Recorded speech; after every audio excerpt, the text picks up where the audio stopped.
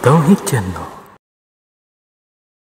Ada pertanyaan berikutnya yang masuk, apa hukum membeli hewan kurban sebelum masuk bulan Dzulhijjah? Hukumnya tidak ada masalah, dibolehkan.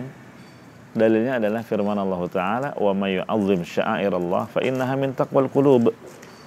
Barang siapa yang mengagungkan syiar Allah, maka itu termasuk dari ketakwaan hati.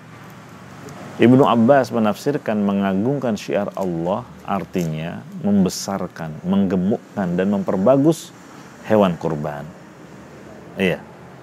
Ini menunjukkan kebiasaan para sahabat, mereka telah mempersiapkan hewan yang akan dijadikan kurban jauh sebelum masuk Zulhijjah. Karena mereka akan memprioritaskan ya hewan tersebut diistimewakan dibandingkan hewan yang lainnya. Dikasih pakan, perawatan yang terbaik sehingga hewan itu menjadi sangat besar dan gemuk. Dan juga hadis bahwa Nabi SAW mengatakan man kana lahu dhibhun yadhbahu fa idza uhilla hilalu dzulhijjah.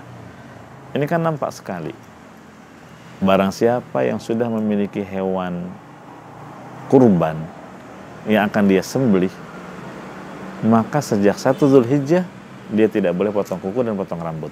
Ini menunjukkan bahwa dia telah memiliki hewan kurban sebelum 10 awal Zulhijjah masuk. Demikian, wallahu taala alam. Tauhid Channel.